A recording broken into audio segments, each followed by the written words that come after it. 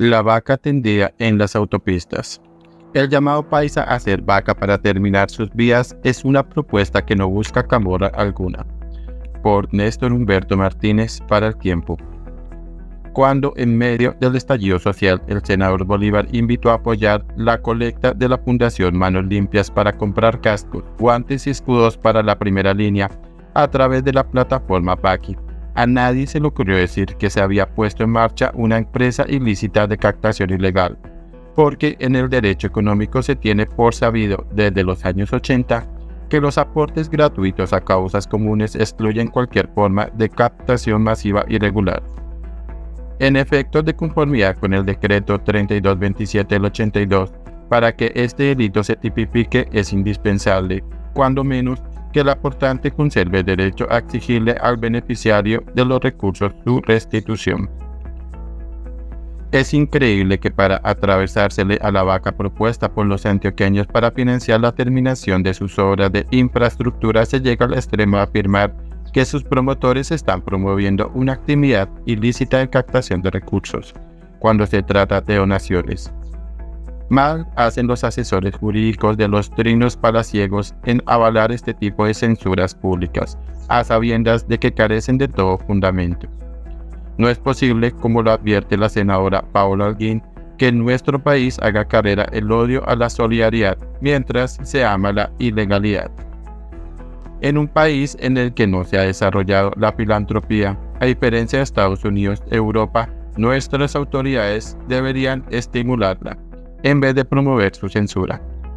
Se recuerdan con nostalgia los tiempos de Mocus, en medio de su ejercicio de construcción de cultura ciudadana, cuando invitó a los bogotanos, con buen suceso, a efectuar aportes voluntarios adicionales al impuesto predial o de industria y comercio. En estos turbulentos tiempos, se lo estaría quemando en la hoguera por promover un delito. En este contexto, el llamado paisa a ser una vaca mediante el aporte desinteresado de unos y otros sin ideología conocida para terminar sus autopistas de cuarta generación es una propuesta propia del espíritu solidario antioqueño, que no busca camor alguna.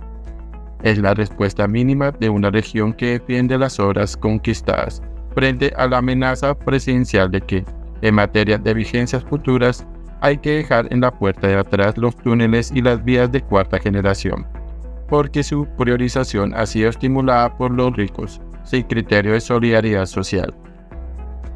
Es una pena esta concepción porque, si bien se pondrá a soñar a la gente con toda clase de obras de saneamiento ambiental o de agua potable, sin que se augure su efectiva realización, por la probada incapacidad gubernamental para ejecutarlas, con dicha idea quedarán en remojo obras esenciales contratadas y renunciaremos a llevar a cabo macro obras que solo son posibles comprometiendo ingresos fiscales futuros que necesitamos para salir del subdesarrollo,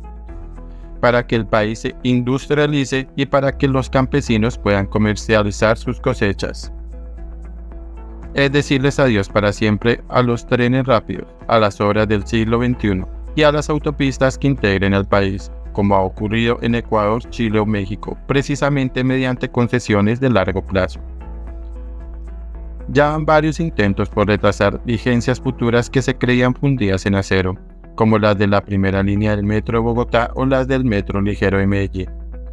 Frente a la amenaza de que la nación desconozca estos compromisos contraídos al amparo de la Ley 819 del 2003, no bastan las vacas, de suyo insuficientes, es necesario hacer un frente común entre la academia, el Congreso, los gremios, los organismos de control y la ciudadanía para impedir cambios de esta naturaleza en las reglas del juego de la contratación pública, de lo que solo se obtendrá que los mercados financieros locales e internacionales pierdan la confianza en el país y no cierren del todo las puertas para financiar estas megaobras. De hecho, con los embates de estos días difícilmente hoy sería posible obtener créditos para estos proyectos. Un daño irreparable producto del calor de la tarima en plaza pública. Taponazo. El despelote de los pasaportes de la Cancillería se quiere copiar en el sector de infraestructura.